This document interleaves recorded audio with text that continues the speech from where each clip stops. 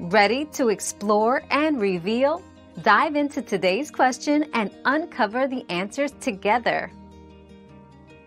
Flickering LED lights can cause eye strain, headaches, and discomfort if exposed for long periods. To mitigate this, opt for high-quality LEDs with built-in flicker reduction technology. Avoid prolonged exposure to flickering lights and consider lighting solutions that provide consistent illumination to maintain eye health. Our quest for knowledge never ends. Thanks for being part of today's discovery. Subscribe, like, and share to join us on the next one.